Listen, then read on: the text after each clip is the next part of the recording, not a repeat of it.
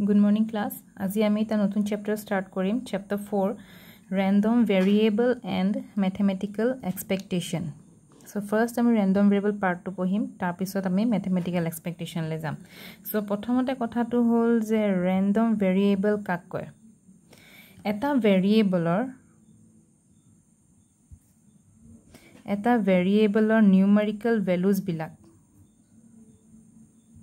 Numerical values বা simply values বুলিও কওঁ। নিউ যেতিয়া এটা ভেৰিয়েবলৰ নিউমাৰিকেল ভেলুজবোৰ ৰেণ্ডম এক্সপেৰিমেণ্টৰ সহায়ত আমি ডিটাৰমাইন কৰোঁ ৰেণ্ডম এক্সপেৰিমেণ্ট কৰি পেলাই তাৰ ভেলুজবোৰ উলিয়াওঁ তেতিয়া সেই ভেৰিয়েবলটোক কোৱা হয় ৰেণ্ডম ভেৰিয়েবল তাৰমানে এটা ভেৰিয়েবলৰ ভেলুজবিলাক যেতিয়া এটা ৰেণ্ডম এক্সপেৰিমেণ্টৰ সহায়ত আমি উলিয়াওঁ তেতিয়া সেই ভেৰিয়েবলটোক কোৱা হয় ৰেণ্ডম ভেৰিয়েবল ৰেণ্ডম ভেৰিয়েবল এইকাৰণে কাৰণ তাৰ ভেলুজবিলাক আমি ৰেণ্ডম এক্সপেৰিমেণ্ট কৰি পেলাই উলিয়াওঁ। সেইকাৰণে সেই ভেৰিয়েবলটোক কোৱা হয় ৰেণ্ডম ভেৰিয়েবল এতিয়া ৰেণ্ডম ভেৰিয়েবলৰ টাইপ দুটা আছে। ৰেণ্ডম ভেৰিয়েবল দুটা টাইপৰ আছে। এটা হৈছে ডিছক্ৰিট ডিছক্ৰিট ৰেণ্ডম ভেৰিয়েবল আৰু এটা হৈছে কণ্টিনিউৱাছ ৰেণ্ডম ভেৰিয়েবল এতিয়া ডিছক্ৰিট ৰেণ্ডম ভেৰিয়েবল কাক কয়?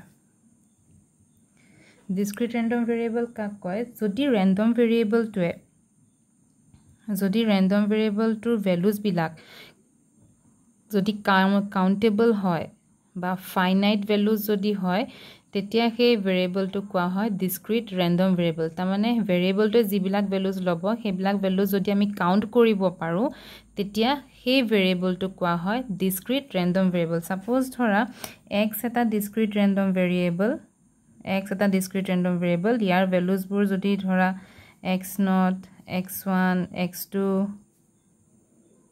X three চাৰিটা ভেলু যেনিবা লৈছে তেতিয়া এইটো হ'ব কি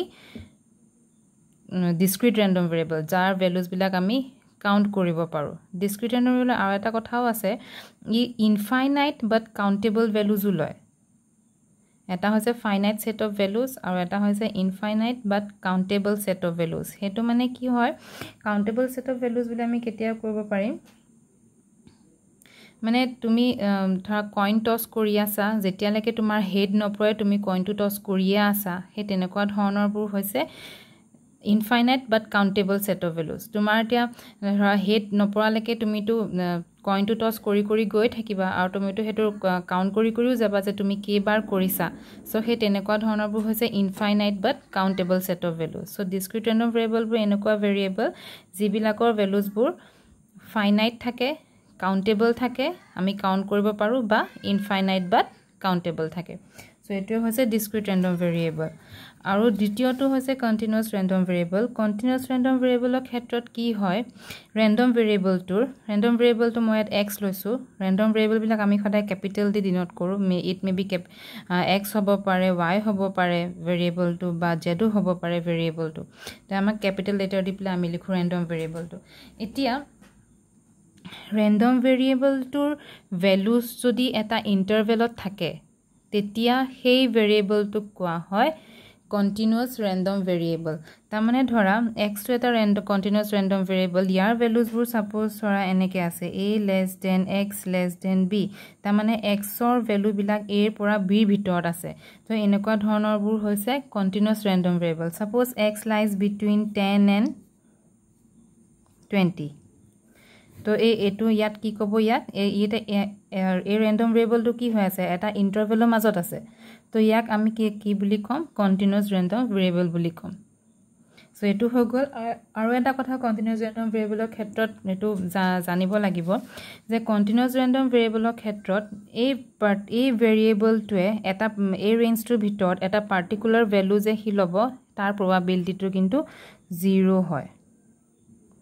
মানে কথাটো এনেকুৱা এতিয়া X X lies between ten and twenty এতিয়া টেন আৰু টুৱেণ্টিৰ ভিতৰত যিমানবোৰ ভেলুজ আছে তাৰ ভিতৰত কোনোবা এটা দুটা ভেলু এক্সে নল'বও পাৰে। তো আমি সেইকাৰণে ক'ব নোৱাৰোঁ যে এক্সে যে এই পাৰ্টিকুলাৰ ভেলুটো ল'বই এক্সে সেই পাৰ্টিকুলাৰ ভেলুটো লোৱাৰ প্ৰবাবিলিটিটো